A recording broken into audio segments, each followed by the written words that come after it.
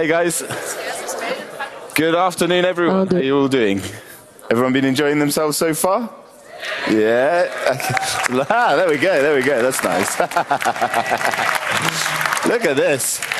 Cheering in the parliament. Good. It's glad to see you guys. I'm really glad to see you guys so fired up. I know we've had sort of two half days in the. Uh, in the workshops, I know they've been very, very engaging. I've put my head into a few of them, and everybody's been been really engaged. So that's wonderful, uh, and that's exactly what, what the hope of this was all was all for. So we're here. We've only got about an hour actually. We haven't got too much time, um, and we are starting slightly later than we would have perhaps liked to. We're waiting for for the chairman of the EPP group, Manfred Weber. He's going to arrive any moment.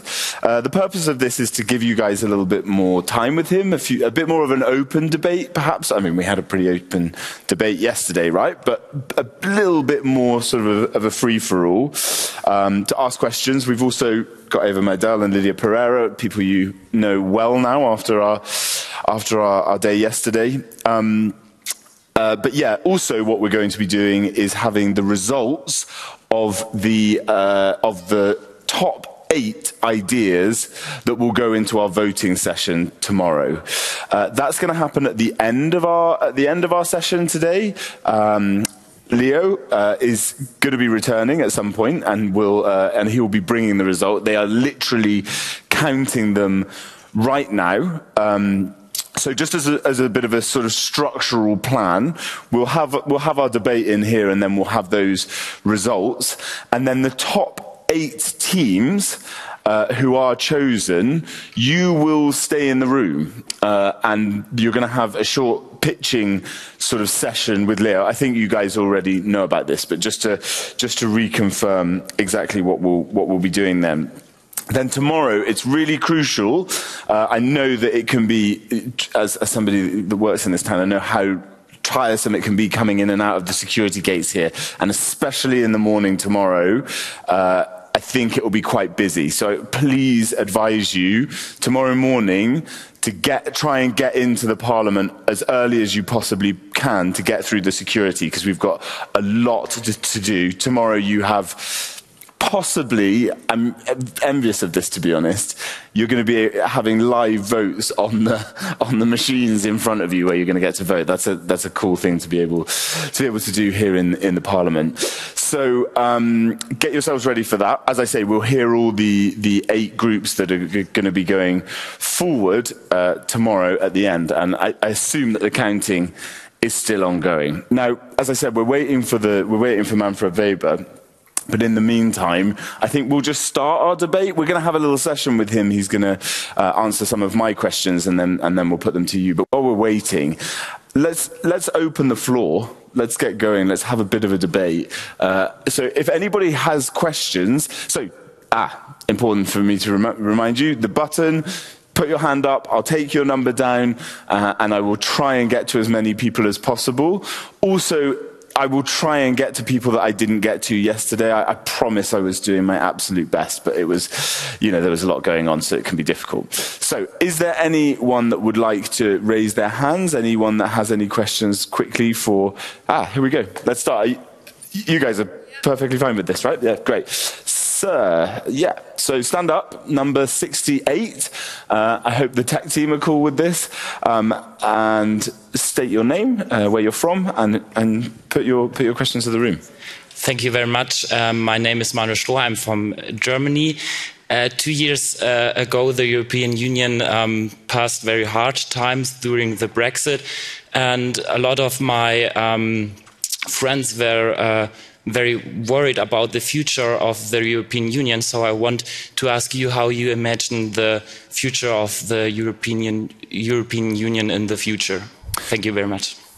Thank you, thank you so much. I'm just going to introduce another of our MEPs who's arrived, Michaela Šojdrová. Thank you so much for being with us, a Czech member of uh, the European People's Party. Yeah, yeah. A new person.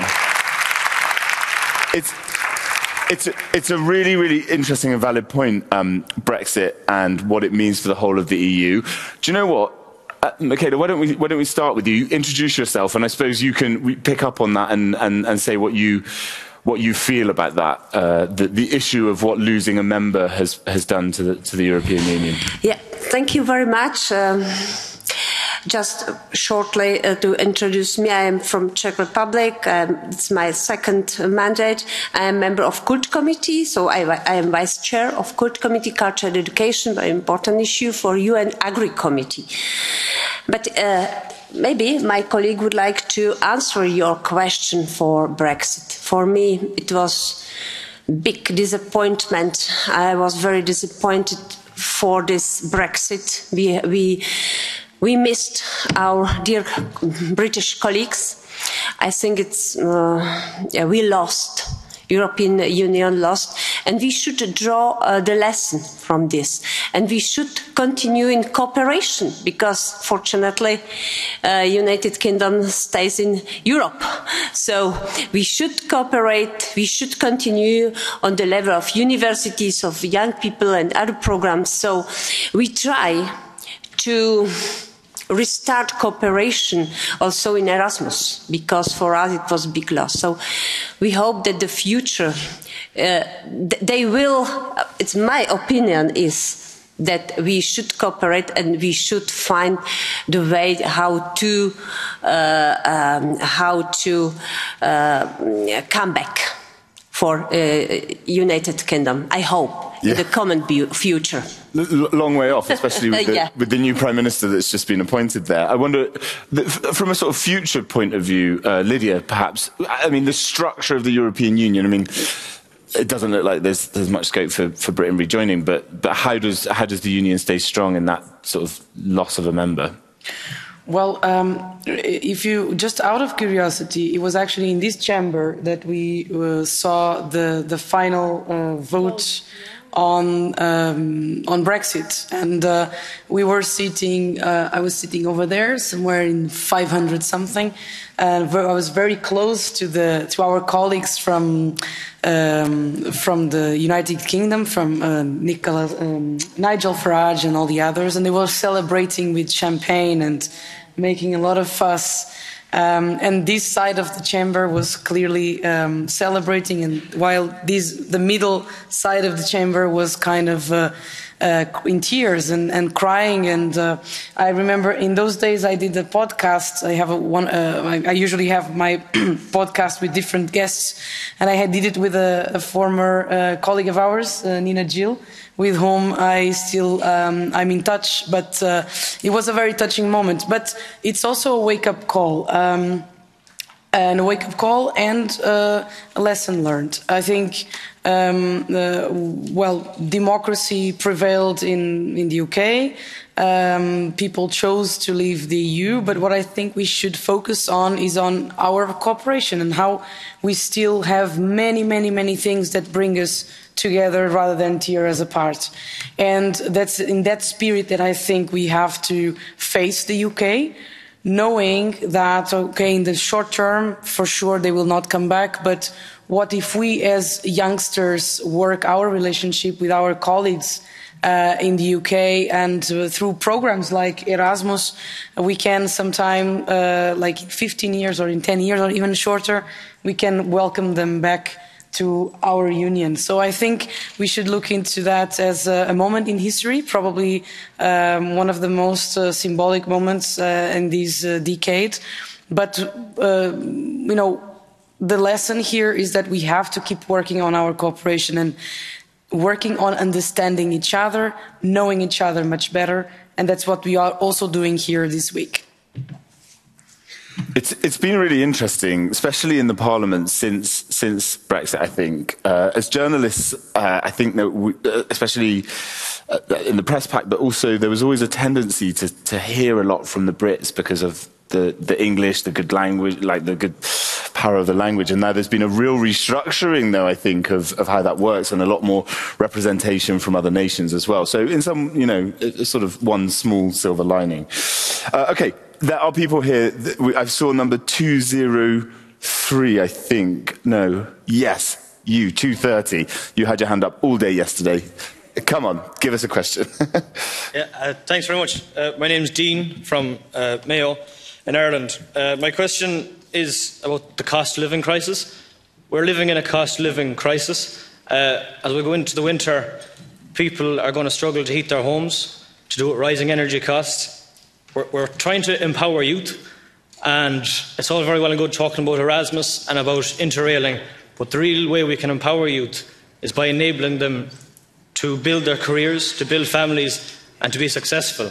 So, really, I want to ask what is Europe doing in the short term to uh, alleviate the cost of living crisis for young working people who are trying to, uh, to build their careers? Thank you. Should, should we come to you, Eva? Is this interesting for you because your country is just about to enter election, which is heavily on this issue as well, really dominated by it. Yeah. Um, thanks a lot to number 230, Dean, if I got your name uh, correctly. Perfect. Um, thanks for posing this, this question. You know, a couple of months ago, I spoke with my team and I said, listen, we, we need to think of, of, on this topic. And, you know, for the center right is not the natural topic to address. Um, but um, what I've noticed um, is that over the past couple of weeks, um, we kind of refer to the cost of living without referring to, um, you know, the real causes that have caused uh, that have caused the rising prices. And there's a number of factors, but the most serious of factors of all is the war in Ukraine. And I think, um, you know, it's there, but we don't seem to talk in our societies enough about what Ukrainians are going through right now and how they will be surviving uh, the next couple of months um, uh, in, in Ukraine. And the reason why I say that is because we do live right now life as we know it to a certain extent. We are all worried for the next couple of months. Uh, but at the same time, I think we don't think enough for those that are defending the European values values and European principles right now uh, in a war zone, basically. Um, and I think there are some countries that are much closer to the Ukrainian borders um, who, um, you know, even there the debate has shifted. Um, I just think that the next not just a couple of months but probably a longer period will be very tough for europe cost of living, the developments in Ukraine, they might continue to deteriorate. Um, and I think we need to sober up. And I think this needs to be our, uh, so to say, awakening moment for Europe. Uh, perhaps it didn't happen with Brexit necessarily, it didn't necessarily happen with COVID, but now it's high time that we, you know, uh, live outside of our uh, bubble and are able to deliver on those policies that would really empower the youth to build their careers, that would really empower businesses survive survive over the next couple of months and households uh, as well to be able um, to, um, you know, uh, meet the month end, uh, so to say. Uh, so with the EPP and our chairman, uh, who has just uh, joined us, we are developing a very clear strategy, which is of course you would need to support but you would need to enable those that could help the economy uh, continue operating. So it's a very it's going to be very tough for all of us and i think we need to brace up. Um, and this is, was part of my um, you know speech yesterday. Uh, i think uh, you're coming of age much earlier uh, with all that's going on in the world and your wise advices that you've been discussing i think can guide us in the next couple of months as well. So I look forward to hearing them. Thank, thank you so much. We had any answer from each of our MEPs there. That sort of timed nicely uh, while, while we waited for you, Chairman. I know, I know you're extremely busy. Before we just move on, though, just to let you know, I've got number, I'll tell you the numbers that I've got down, and we will make sure that we get these questions in. 12, 307, 305, 17, uh, 147, 296, 297, and 358. They're the numbers that I've got down. I can see you. I'll try and get some more in as well, but, but that's, that's the ones I had down, and we'll, we'll try and move. Manfred Weber, thank you so much for joining us. I know you've got an extremely busy day, uh, and the point of this is to have a have a bit of a conversation with you because I know you were you were tied up yesterday. Do, uh, do, would you like to come down onto the side down here, or perfect from the from the audience? Okay, wonderful. Okay, great. Well, let's head to number twelve then, please. Hello. Um, Oh, sorry. Uh, hello, my name is Julia. I'm from Poland, and I would like to ask you is it actually possible um, for young people to speak and being actually listened to um, if still many of them don't have any rights to speak in their families or countries um, freely? I believe it is possible, but how can we do it? Thank you.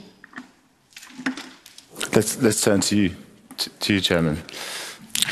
Well, Julia, I, I just was considering what do you mean with freely speaking? Do you feel that there is in Poland not the chance to really speak and, and freely express your opinion? You know, we have some rule of law doubts when it is about Poland, but I hope it is not so far reaching that you cannot stand up and uh, uh, uh, position yourself. Can you, can you follow a little bit up on this? I mean, I'm not thinking about Poland Yeah. uh, as the country, but just like in general, there uh, it's still quite um, hard for people to speak uh, freely just in their families, let's say. So how can we do something about this? Um, yeah, just for people to have right to speak, even though they have rights, but they might be afraid to talk. Well, I would say, I would say when it is about being afraid of of of of, of, of position yourself, of, speaking out loud. Um, well, there is there is one one concern when there is really such a regime or such an atmosphere in a family or with your friends where you feel uh, aggressively attacked if you say the wrong thing, then it is very difficult because that is against the fundamental idea of, of freedom, of democracy, of our, of our way of life. But on the other hand, I have to say on the issues, when you disagree, it's all about courage. It's all about uh, it's all about standing up and really fighting for for the interests. Uh, you know, we have this uh, Fridays for Future. When I see it on the European global level, where young people um, showed up and told us politicians take about uh, take care about uh, global uh, level about climate change. Um, I would probably add to this kind of being loud and being being offensive with young ideas. I would add that I would would love to see also next to the uh, clear messaging of a demonstration also very concrete proposals because it's uh, in politics not only a one-sided in a way wishing list where you can only say climate change climate change climate change we as epp we know you know also that it's also about social it's also about jobs it's also everything must work together and that would be let me say my my, my additional uh, request uh, to the young gener generation as a whole to be not one-sided huh? to be to be then also balanced and then it's more convincing if you present the package huh? then it's much more convincing than only with one one aspect i don't know whether i got your point right but i hope i could give an, uh, additional point huh? Thank you so much. So, so let's move on to number 307 was next on my list. Uh, I don't know where that is. Nope. That's next on my list afterwards. So yeah, 305. Go for it.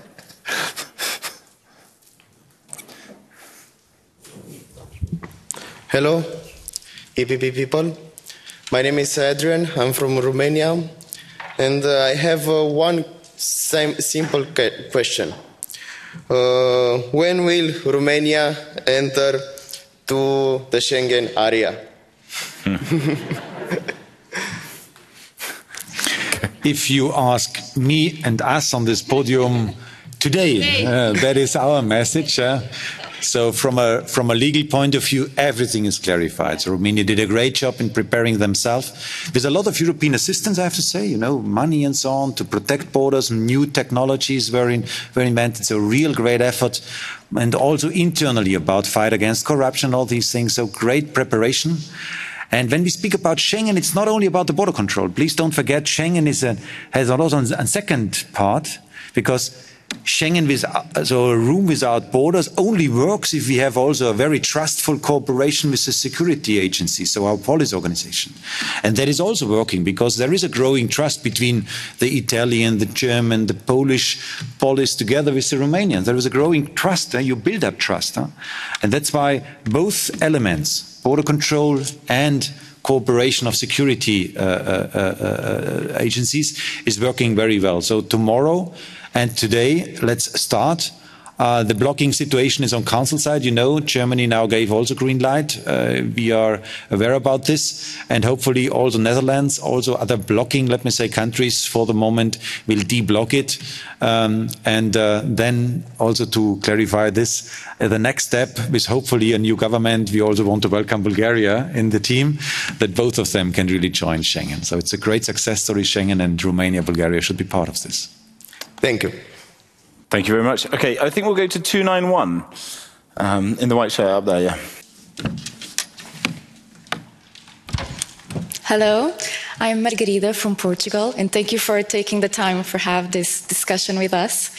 I have a question uh, that um, I got to it because young people, especially young people outside this room, normal young people who don't really have a, an enormous interest for European politics, they sometimes need a more simple language to better grasp and just understand. So many times we can relate uh, political parties with some strong associations. We can think justice, we can think um, environment, etc.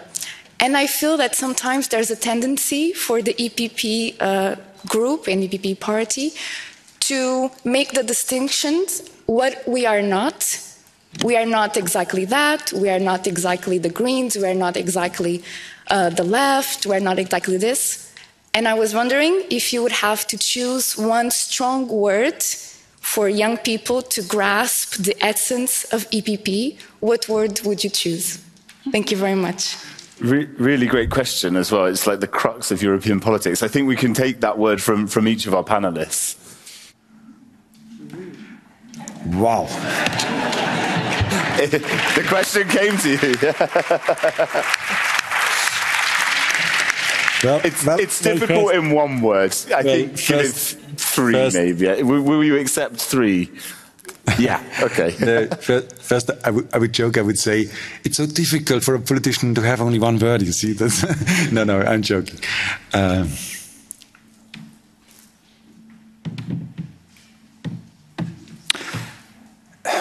one word. I would say, in a way, center.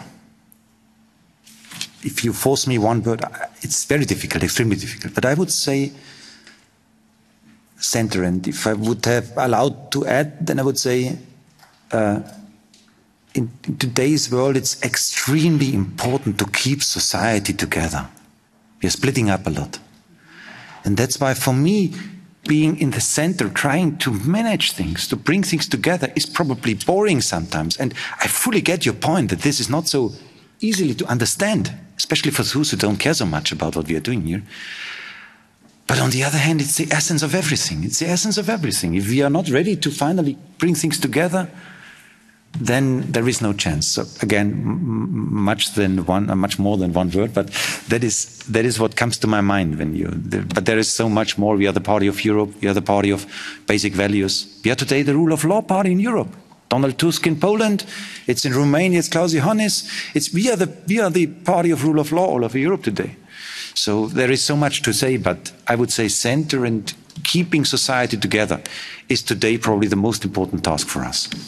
For, for the, I, we're going to move on to them. I think every single European politician would struggle with this question as well. I think that it's really interesting. We'll move on to Eva and Lydia and also to Michaela. I got inspiration uh, by my Manfred. My one word was different, uh, but you've mentioned the word together more than the word center. so I think uh, my word would be uh, together, uh, because uh, we are, as Manfred says, the bridge builders. We bring together.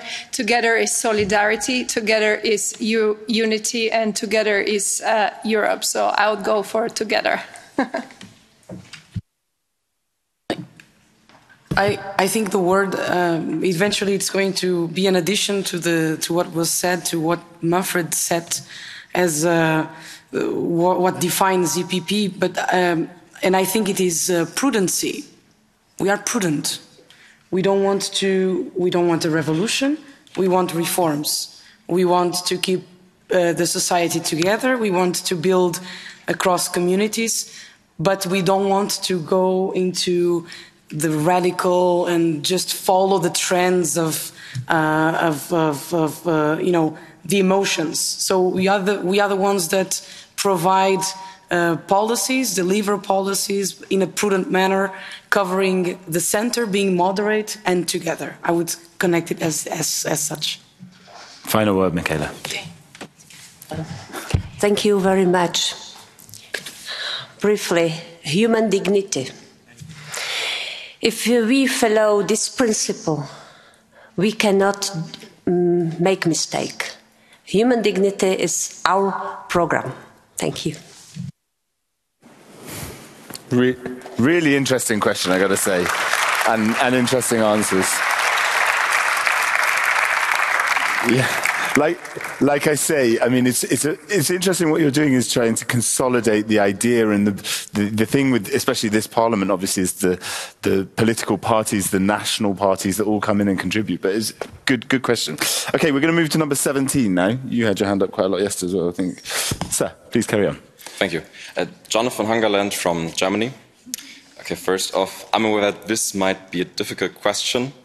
Um, but I need to ask it anyway because I, as probably many others in this room, feel that I'm a European citizen represented by the European Parliament because that's the people that I elected. And I therefore would love to see some power shifting from the European Commission towards the Parliament. And my question is what is your take on that? And where do you see us? Is Europe ready for it? And if it's not, what do we need to do in order to provide a culture with one European Parliament holding the power? Thank you. Thank you. Though, first of all, let me start with an advertisement blog about the current European Parliament, because I want to share with you that there is, there is only a few, but the overwhelming majority of legislative things, regulation, directives and so on and so forth must be approved by the European Parliament. That's the day the situation with the Lisbon Treaty. That made us so strong with the Lisbon Treaty. So a few issues, for example, on the uh, in home affairs field, on migration, were in the past only intergovernmental, and they arrive now in the European Parliament. So we are the power holder. Budget-wise, there is no single cent spent on European level without the approval of the European Parliament. And if I may say, because I'm also from Germany, uh, uh, John or Hans, uh, uh, so if I, uh, there is no, there isn't compared with, with the German Bundestag, I tell you, that uh, in the German Bundestag we have a situation that we are quite, and I don't know how it is in the other member states, but this is quite centralized on the party level. Huh? We have coalition talks. Huh? The main decisions in Germany, in Berlin, are not made in the German Bundestag. Don't say this outside and don't, don't, don't, don't tell it uh, to journalists, but it's not mainly made in the German Bundestag. It's made among party leaders when they have their coalition talks. That's the reality. So it's a party democracy and not so much a parliamentarian democracy. In the European Parliament, I have the honor to chair the EPP group. I have the honor to be the EPP president. But when I'm sitting there on my place and I'm making this uh, and I hope that 182 colleagues behind me will vote in favor because I do this signal, and uh, then I turn around and I hope that everybody will follow me. I cannot be 100% sure, you see. Uh, uh, don't get me wrong, 96, 97% of the votes, we are fully united.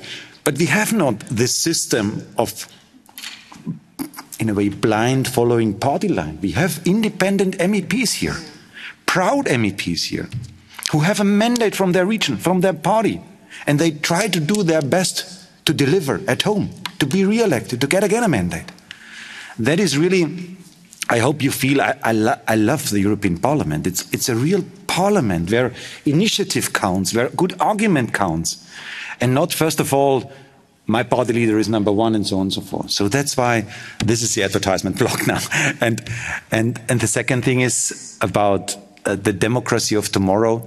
Um, you know, the key question for making it for people understandable that their vote count is that we didn't manage for the moment until now that a majority in the parliament arrives finally on the commission president. You know about the, uh, the situation 2019 when I was the candidate of EPP. We had a congress of our party. We had a campaign between two candidates. I got the majority. But finally, here in the parliament, socialists and liberals didn't accept it anymore, the principles. We won the elections, and that's why we failed. Huh? That was the reality. And uh, I would invite you to consider probably having the current uh, wind of change in Europe in mind, to consider even bigger steps. Uh, I want to present you now an idea where probably some of you would say it's crazy, but is it an idea that for the future we consider to elect as European citizens a president of the European Union? A direct election of the president of the European Union.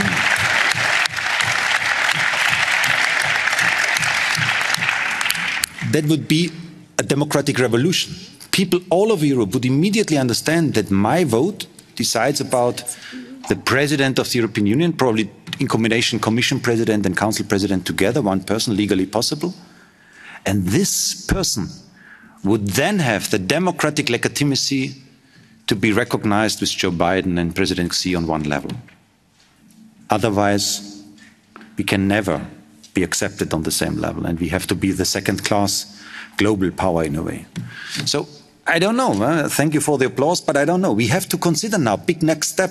And that was the question about whether EPP is attractive enough or whether we are boring compromise compromise uh, uh, dealer. Uh, is probably also combined with such kind of ideas. Are we ready again to do big steps now in front of us and propose things which are easily understandable and gives a clear indication that EPP is the party in favor of a democratic Europe? That is what we fight for, and we will succeed on this. Mm -hmm. Super interesting answer. Uh, this is a very interesting proposal as far as Brussels, uh, the, the, the, chairman's coming coming forward with. Okay, let's go to um, three five four. Three five four. I can't. Yeah, please.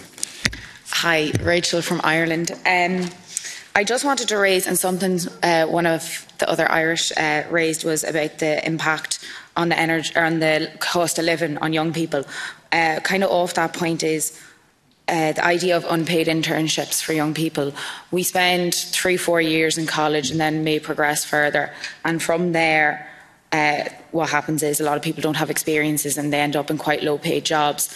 Unfortunately, the issue with unpaid internships is it just completely reimburses privilege the entire time, which allows people who come from um, of a more privileged background to pick up these jobs and then develop themselves higher into a route uh, in maybe you might give your opinion on unpaid internships and what the EU might consider to do to regulate them and hopefully prevent them in the future. Thank you. Thank you so much. Big thanks to Eva, who's had to go as well. Um, perhaps we can turn to you on this, Lydia. I mean, as, as the representative of the, youth. Thank you so much for the question. And actually, we uh, in the EPP we we launched an initiative to ban the unpaid internships that still exist in the EU Council uh, or in the European Council. Uh, the problem that we uh, still have is that there has to be a distinction between what is an what is an internship and what is an employment. What we don't want to to to be dragged to is that we have young people going between uh, internship after internship and they don't have like uh, a quality job that can assure them their emancipation and their you know their future steps in life. So of course um, uh, there's certain degrees of, of internships to which we also have to reflect upon. For example, there are um, internships in the curricula of universities, of courses, of bachelor's, uh, master degrees, and so on. And for that, we also have to be a bit sensitive. What I think is that this is uh, still a competence from the national governments.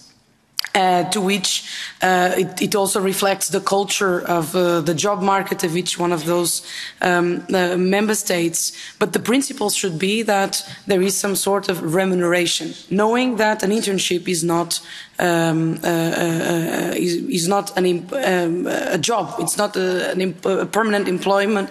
So um, our view is that, or at least my view on that, is that in principle should not happen, or there should be some compensation while while the intern uh, is providing or is, is also learning. So there's also this uh, other side of, of, of the internships, um, but there has to be, you know, certain policies according to the job markets and according to the cultures of the countries that address the, the problem.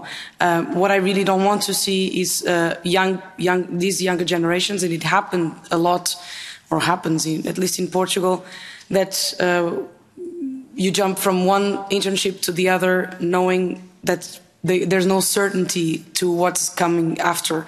So um, uh, it's important to get experience, to be equipped to go into the job market, um, but there has to be some sort of compensation, in my view, to allow uh, the execution of the internships. That's what I think. Yeah, M- Michaela. Yeah, uh, just I would like to uh, shortly join some words because, of course, EPP, every time we support decent work, decent conditions.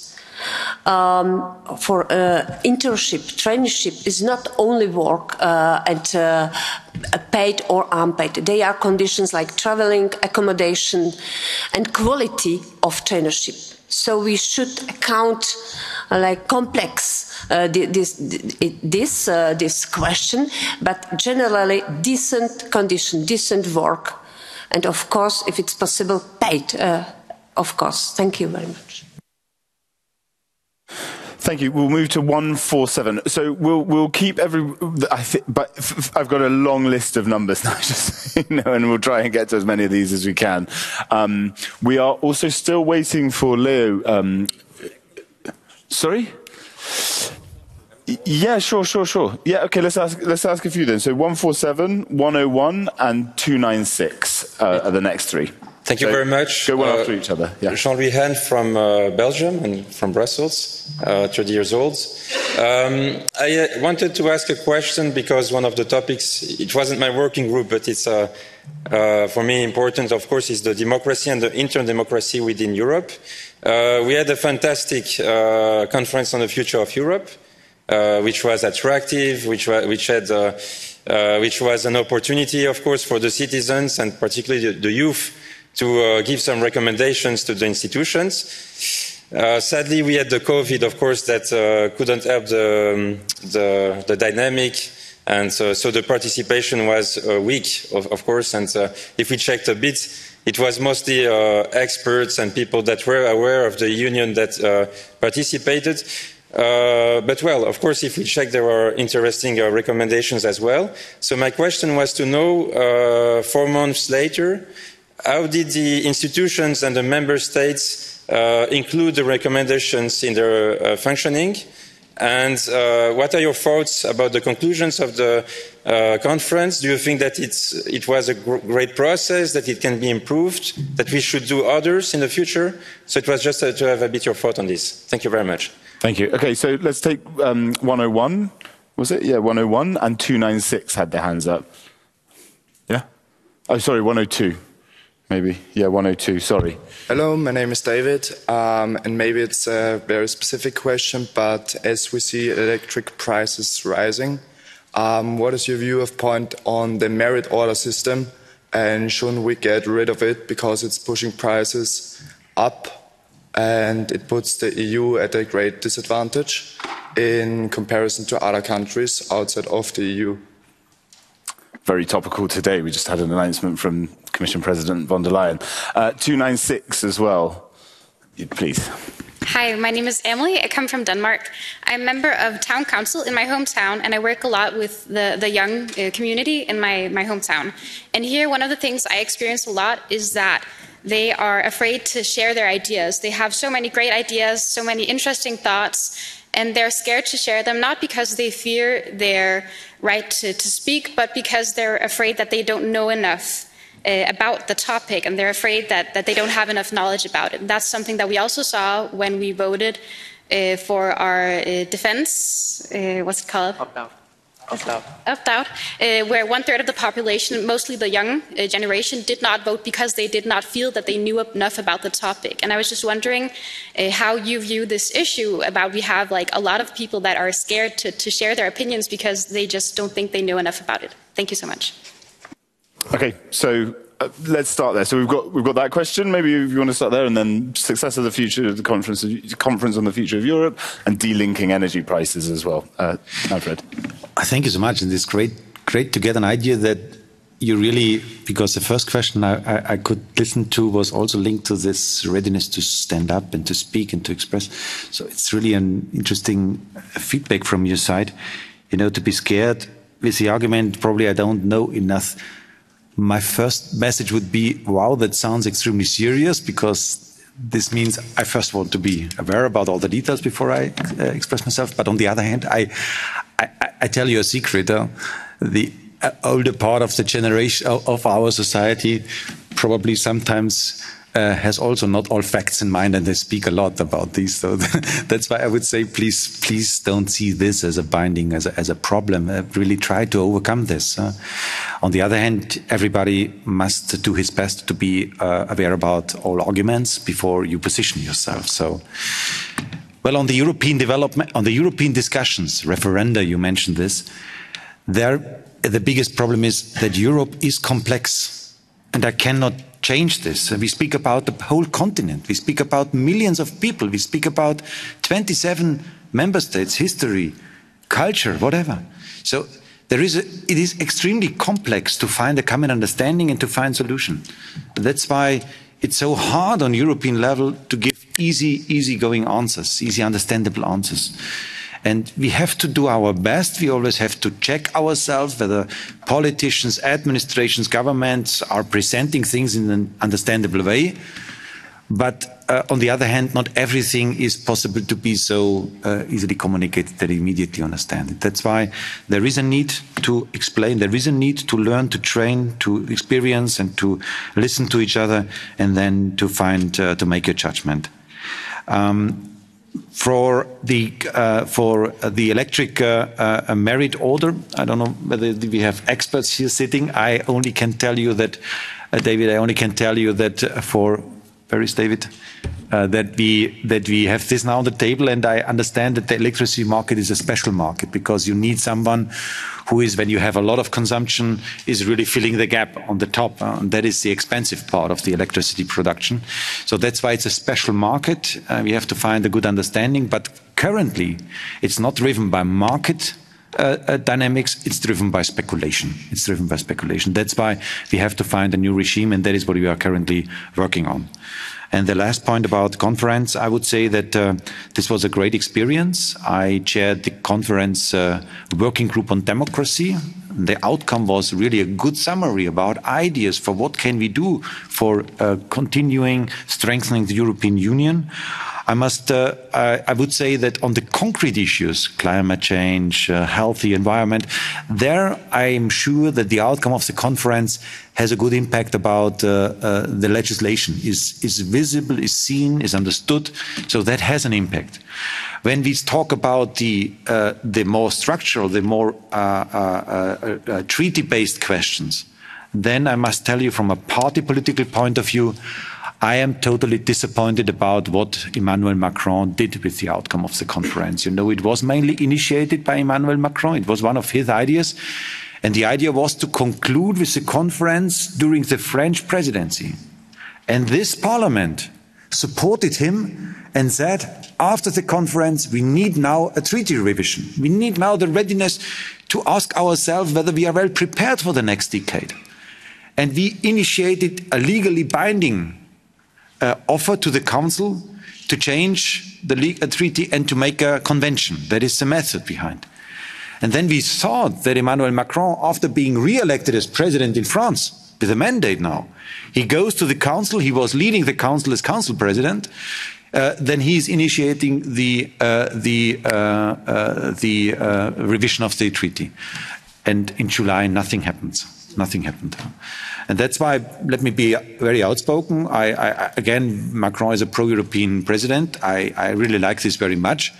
But on these points, I must say he is more interested in the visibility of a big show of Strasbourg and not so much interested in really hard work to deliver afterwards. And, and that's again our job as EPP to continue to work on this and to be convincing with a fundamental change of Europe. Would you, would you like to contribute anything, Michaela? Yeah. Uh, thank you very much. I can confirm uh, what uh, Manfred Weber said about the outcomes of conference uh, on the future of Europe. Uh, for me, it was also a great experience. I was a member of the group for education, uh, culture, and I, I should say that the, the proposal, we have 49 proposals, uh, very concrete, uh, and I think that uh, one of the most uh, important is to improve and um, uh, um, yes to improve knowledge about the EU and the, the people ask uh, for the common framework for citizenship education for example. Like the measure like a tool uh, for the fight against uh, disinformations against manipulation.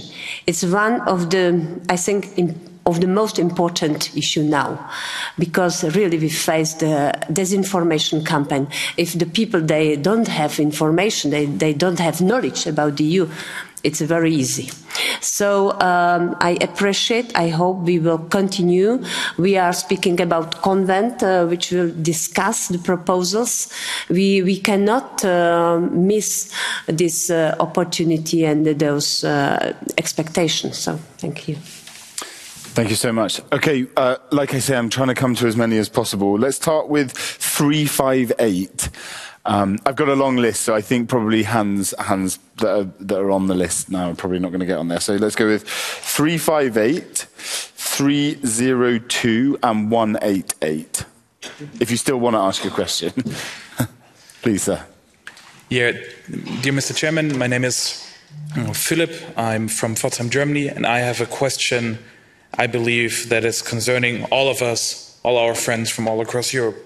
Since the uh, European election 2009, we are, as an EPP family, constantly losing votes, losing seats, losing influence. And my question is what are your takes and what are your ideas about how we as an EPP family can get back these votes, can rise from this state we're in, and uh, especially as a German um, CDU-Mitglied, um, um, we're not just losing the the uh, European election, but in my state, in Baden-Württemberg, it's also the um, uh, regional elections. So they're always linked, and we're always losing regional votes also. So because uh, people connect Europe and the regional vote because for them, EPP, CDU, it's the same. Thank you. Okay, so we said uh, 302, which I think is, yeah, just, just in front of you, but.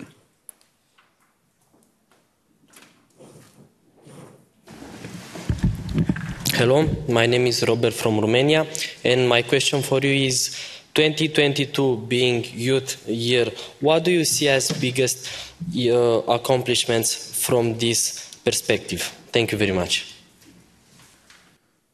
And what did I say? 188? Was it?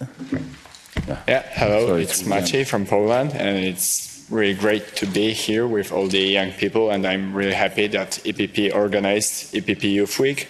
But can we be sure that we'll have influence on the party after the event in terms of creating electoral lists, how to bring together already experienced politicians and young leaders, how to find that balance that we neither uh, paralyze the work of EPP group uh, nor make your parliament just a safe place for political retirement. Thank you. Those questions work nicely together, I think. Please. Well, for the question of uh, not accepting that this is a place for nice retirement, uh, um, I, uh, we need you. Huh? You have to take this into question if this is the case. Uh, and uh, uh, and and that is that is democracy means competition. And, uh, and we have in all our countries, in the member parties as well, in the EPP family, different systems, different way of how, uh, let me say, the internal competition looks like. The, the, the easiest way is you have to nominate a candidate and you compete with them. Huh? Then people decide, the delegates of the party decide finally. Uh, and I only can really motivate you with the good arguments, with a good program, to compete, to stand up and to present yourself as a candidate and to, to challenge everyone. Uh, that is what we need, this uh, fresh blood, these new ideas, this competition. And, uh, and that is also linked to the, to the question of, of Philip about uh, the, the idea, how can we build up the ramp for 2024 for our next European elections? Uh, Philip, I have to be, I have to be very honest that on European level we count a lot on the success of our national member parties. That's that's obvious. Huh? If we are losing, when we are losing in Germany, uh, then uh, then we, we the Germany has the biggest part of the parliamentarians in the European Parliament. The biggest uh, 97 members are from Germany, and if we are losing there, we are losing here, and that means uh, uh, less influence. And, and that was the case over the last years. So it's a combined effort. Huh? It's a combined effort. We have to do a lot on the on the campaigning. There we can learn a lot from each other. Uh, smaller parties can probably more profit from what we do now in the EPP headquarter on campaigning, data-based uh, social media work, for example, these kind of things to get out with our messages. Uh, but the essence of being successful, the essence is in politics a convincing message and a convincing, convincing political idea. And that's why probably I, I, I, I repeat myself, but what we are currently really lacking uh, when I'm coming back to our main duty, that is uh, the development on European level, that we have not yet identified in the EPP party, and that is what I want to do after Rotterdam, after our party congress, we have not yet identified a really convincing message for the EPP that we are the party of Europe. We are the party of the future of Europe. We, we are the party of building up Europe, uh, of the today's Europe. I said this yesterday uh, in my short welcome speech in the evening. So with Adenauer, with uh, a lot of strong leaders, Schuman, De Gasperi and so on, we founded Europe. The today's European Union is our Europe. The single market was against the Greens. They went to court against the single market. We did it in a lot of these things. It's our Europe. But if I would ask you today, what is the main aspect now for tomorrow's Europe, can we agree on the next step in front of us? Then I have my answer, but I doubt whether we have in all parties uh, the answer. And my answer is Europe of, um, of uh, defense and of external affairs. We have to build up a European voice in the world. That's the challenge of this decade. Uh, and everybody understands this with the war on European soil. But uh, when I speak with our leaders on national level, with Andrej uh, Plenković in Croatia, with, uh, with uh, Klaus Iohannis, uh, with Mitsotakis, with all the friends there, then national responsibilities and yeah, let's consider and let's see and so on and so forth, but not a really decisive, clear, uh, strong message behind. And that is what we need now uh, on a few of the key elements for the future of the European Union to define this. And I'm sure if we would do so, if we will do so, I'm sure those who are dominating the debate because they have a promising, a strong message for the future, they also can fight even against populism because populism is only strong in Europe because we have a lack of good ideas in the center currently. That is what, what, is, what is also strategically important. So uh, I have to apologize. It's really an extremely busy day today. Uh, that's why I myself, I, I must leave again, I really, I really thank you so much also for, for the impression I got from the talks. Please continue. Have also today a great, a great evening in Brussels, and then we see each other tomorrow. Thank you so much.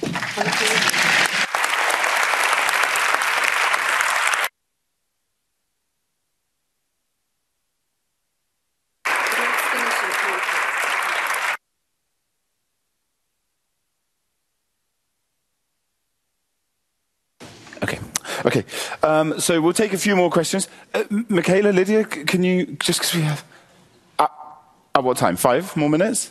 Yeah, five more. Yeah. Okay, let's take three more then, if you if if you want. We've got. We'll take a group of three, and then we're going to move on, and we'll do the results of everything. So, I'm I'm really genuinely sorry that we haven't been able to get to all the questions. I've tried to be as fair and sort of gender based and directions across the room and stuff. Uh, so the three that I'm going to go for are 562. Yeah, yeah, you've been, I'm glad about that because you've been very active back there and you're right at the back. Uh, 101 and 144. Um, yeah, we'll, is there, one, 144, I think it was. This, no, not you? Ah, maybe, maybe. Uh, okay, if it, let's let's take one that definitely had the hand. I'm going to go with uh, 158 then. Actually, 101. Uh, it's got to be one that I've actually got written down, right? Do, do we? Does 158 actually? Is that a person that was here? 158. It was you. Yeah. You had your hand up. Yeah. Okay. So 101.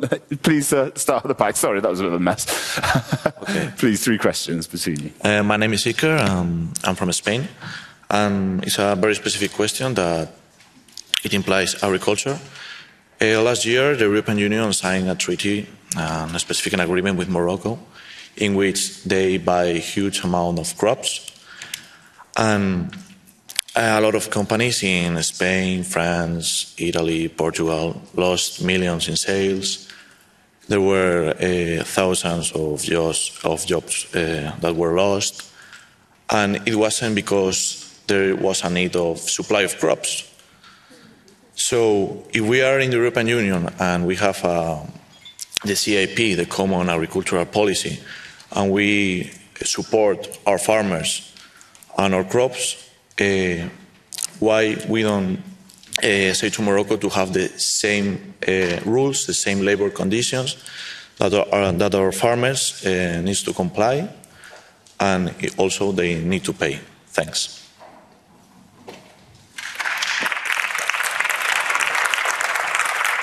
One five eight. Yep.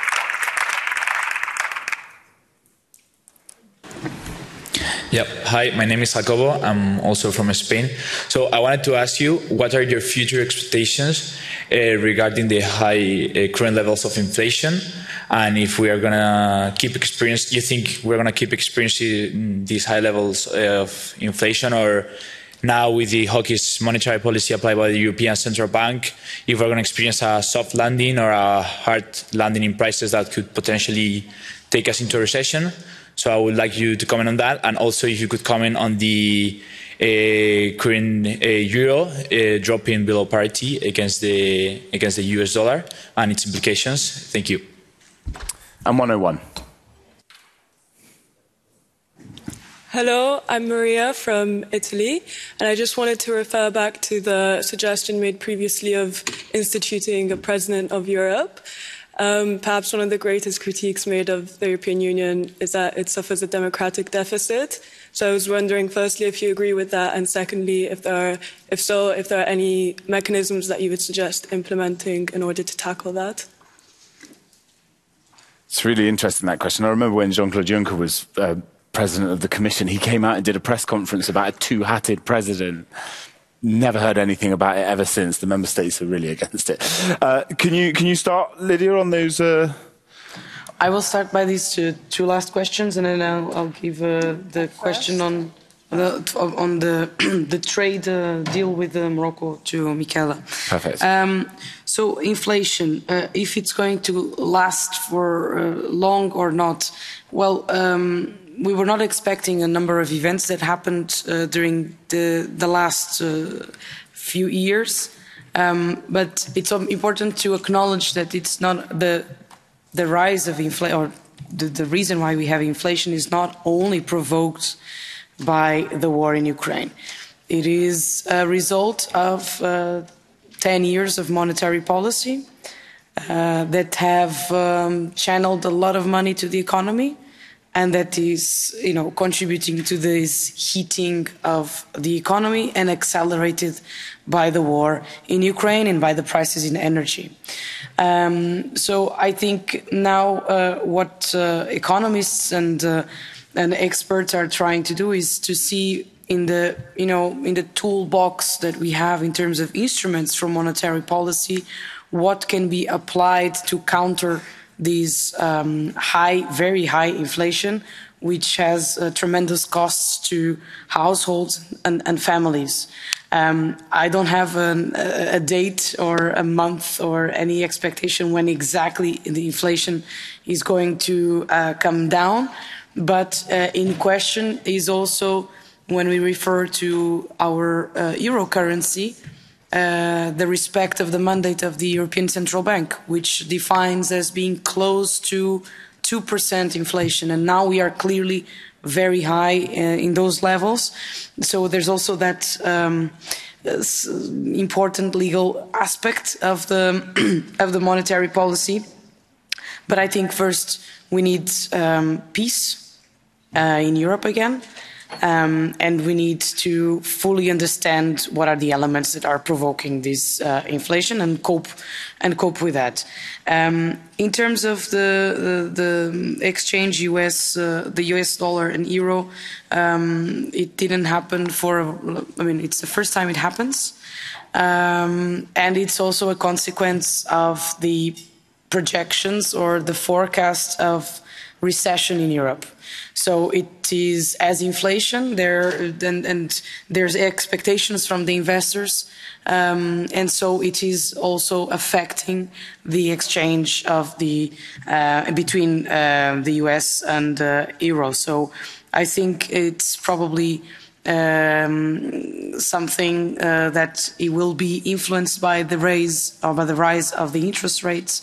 We will see what the European Central Bank is going to do in the next few months, knowing that the European Central Bank has reacted very late to the to the problematic inflation, inflation because it, they considered that it was a temporary inflation, and there was already some indication that uh, the monetary policy was now having its results more negative. Um, Finally, President of the European Union, I don't have a closed opinion on that. I think it is very good that we go back home and we digest this idea because you also have to think whether you would feel comfortable or not. Um, I mean, Europe is very diverse. We are, we have very different cultures, we have uh, different languages, we have different history roots. So, um, uh, to what extent we would with all the 27 except uh, a president of the, of the European Union to speak on, on behalf of, of the Union. I think um, the challenges are global. What we have to face, they are global. So the geopolitics um, are very important. And being alone in a globalized world and very interdependent and more and more transnational, I would say it makes sense to explore that um, that position because it's uh, only when we speak at one voice that we can actually have uh, um, you know a seat in the front row and not just negotiating some little things that are also important but uh, when, we, when it is about the global challenges it's important that we are not uh, left behind. And we see a change in the global order um, we are coming to a more multipolar uh, world where it is uh, absolutely necessary that the European Union um, defines its uh, you know, position in the front line and not in the backbench. So um, with this in mind, I think it is worth exploring to have the, such figure, a person that holds the power um, to represent the European Union um, in all its, uh, its stands. Thank you. Can I say as well, I'm going to go back and watch that. I'm very interested to hear what Manfred Weber, the tone of that. Was he asking us if we should do it, or is this his idea? I, am still not sure on that, and I think that's a, a really interesting suggestion. I, I, I, want to work that out. I'm going to rewatch this when, we, when, I, when I get out of here. Michaela, please carry yeah. uh, thank you very much. I will answer a question about uh, the EU-Morocco uh, uh, agreement. Uh, I think your question um, is about competitiveness of our uh, European farmers, especially maybe Spain farmers. Of course, we should look on this. We, we should protect our farmers. And how we can do it? uh, in the in the treatment uh, in the treaty like this in the agreement we should have we say uh, so-called um, mirror clauses so we should ask the same standards of uh, um, the, the products uh, and from the agricultures from producers from third countries like European standards uh, for example, for the um, pesticide, for welfare standards. So um, we should have the equal treatment and we should, of course, protect our uh, European uh, uh, agriculture competitiveness. Just uh, one uh, thing, what I would like um, um, say for the uh, because there were uh, um, asked question about uh, European Year of Youth and accomplishment. I think uh, our uh, Romanian colleague. Yeah. Yeah, just yeah, yeah, yeah, I, was, so, so uh, if uh, we are, I don't know, your uh, ask, uh, ask was about uh, the accomplishment of European Year of Youth. Uh, I should say that this this proposal, this this European Year of Youth, was proposed by Ursula von der Leyen in September 2020, 2021 before Ukraine war, the, the, the purpose was to spotlight on the impact and to raise uh, the situation of youth people um, after COVID-19 pandemic and lockdown. So uh, we we wanted to hmm, to uh, to raise uh, and to attract attention on your problems, and also this event EPP Youth Week is part of activities of European Year of Youth. I hope in the end we will have more experience, more information, more um, knowledge about your problems, about your um, demands. Uh, so um, we, are, we, we don't finish today. Uh, um, I hope that in the end of the year, in December, we will have here big uh, final conference with Commission, Council, and Parliament, and uh, we will have uh, the uh, some findings what we will publish. I hope we will have. Uh, uh, we, we will have many finds to findings what we can be able to publish and to to have for the future. So. Okay, let's leave it there. Thank you so much to Michaela and to Lydia as well. And because I know we've, uh, yeah, we ran over. See you soon. Take it steady. Okay, we're, we're, stay, stay, stay. We've got to do the, the results of the, uh, that's not the end. We've got, we're doing the results of the, uh, the workshops that you've been doing. So Leo is here. Uh, just a quick note. He's going to announce the results of the eight teams that are going to present their ideas here in the Parliament tomorrow morning. Um, those people uh, stay, uh, and you're going to have a session about how to pitch those ideas. Those that aren't here, you can go to the workshop session, specifically some interesting stuff about building your social media and stuff. Um, I hope you've been tweeting and Instagramming and doing whatever, whatever platform you like to do. Um, and then just a reminder to everyone, the security in the morning specifically to get into the European Parliament can be quite heavy and we've got a lot to go through tomorrow. So make sure you're here as soon as possible. So I'm going to hand the floor over to Leo. I know you've been working hard for the last couple of days outside of this room. Um, so he's going to announce uh, the winners.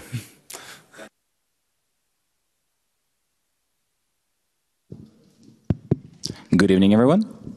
So, um, thank you all, guys, for your hard work.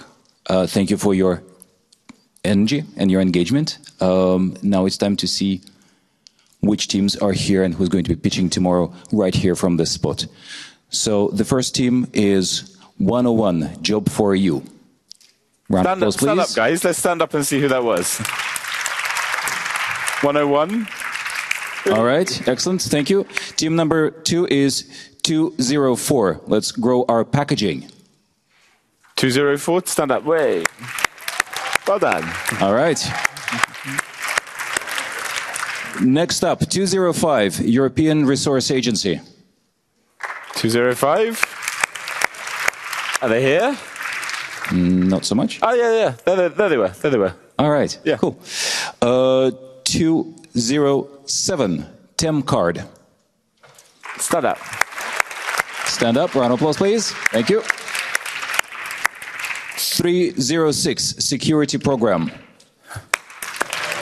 Stand up. Let us see. Yeah, Stand up, guys. Round of applause.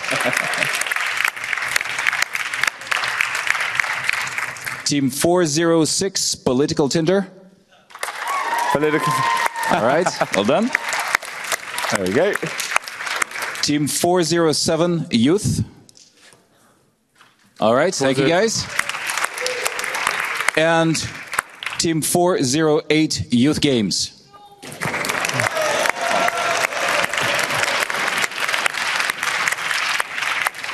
All right, representatives of these eight teams, please stay here. My colleague Kira and I will take you through the preparations for the presentations tomorrow morning. For everybody else, there's still a round of workshops that's waiting for you. It's the same workshops you've missed out on Monday. So the hostesses are waiting outside to take you to the right locations. Thank you guys, and see you all tomorrow in the morning. Gu- guys, as well, I've just I've just been informed actually. There's a bit of a strike on in Brussels tomorrow. Trains, taxis, and stuff like that. Taxis specifically. So definitely make sure you're well in time. We'll try and wrap the session up as soon as possible if there's early flights that need to go. Uh, if you uh, definitely aim to be in this room by 9:30, please. We want to start absolutely on the dot as soon as everyone's here. Have a wonderful evening. Thank you so much. Cheers. What? I know. yeah, exactly. I mean, All right, um, team members of the eight teams that are going to present tomorrow, can I ask you to please all come here to the front row?